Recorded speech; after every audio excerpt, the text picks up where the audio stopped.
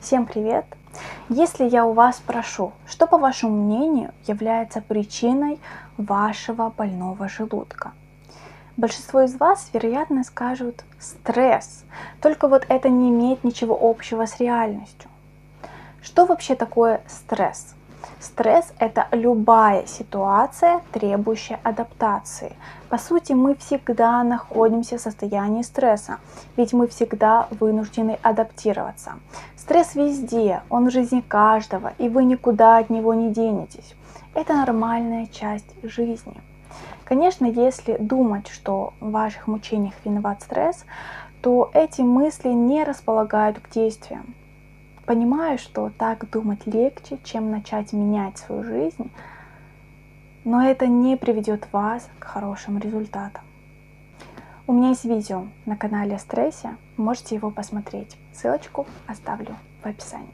На самом деле здоровье желудка определяется его содержимым, то есть пищевыми продуктами, лекарствами и бактериями.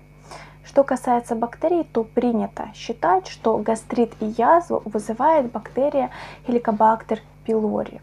Только вот у более чем 80% инфицированных проблем с желудком не наблюдается. Что же заставляет эти бактерии становиться токсичными и вызывать повреждения и воспаление? Нездоровая пища. Что к ней относится? Это все животные продукты. Для переваривания животных белков организм вынужден вырабатывать много кислоты, которая, ко всему прочему, медленно выводится из желудка.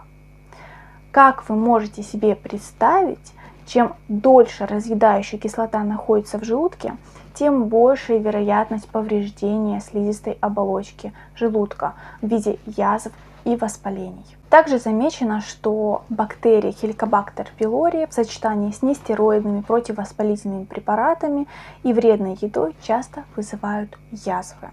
Думаю, вы все знакомы с этими препаратами. К ним относятся аспирин, ибупрофен, диклофенак, кетопрофен, немесулит и так далее.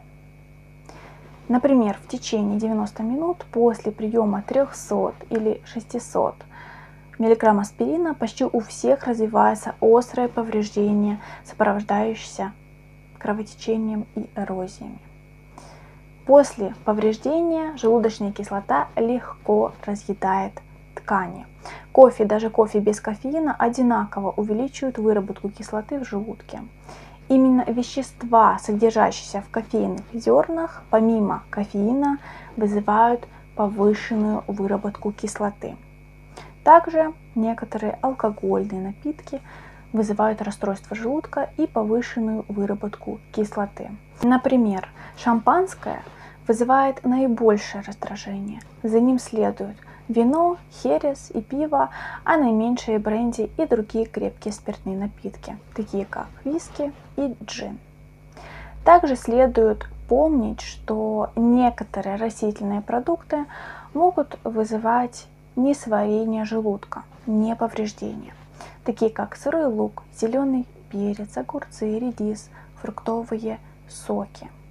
Острые продукты, такие как острый перец чили, каенский перец и порошки чили и карри, могут вызывать ощущение жжения, но редко повреждают слизистую оболочку желудка и никогда не вызывают язв. Как же нужно питаться? Частое питание цельной растительной пищей на основе крахмалистых растений с низким содержанием жиров и высоким содержанием клетчатки мягко успокаивает слизистую оболочку желудка и способствует ее заживлению. Такое питание снизит частоту рецидивов как минимум вдвое по сравнению с теми, кто продолжает придерживаться диеты с высоким содержанием жиров и низким содержанием клетчатки. Отказ от курения, сигарет снизит риск рецидива через 6 месяцев с 72% до 21%. Отказ от алкоголя и кофе, включая кофе без кофеина, еще больше снизит риск рецидива, а также способствует лучшему здоровью. Спасибо, что посмотрели это видео. Будьте здоровы и всем пока!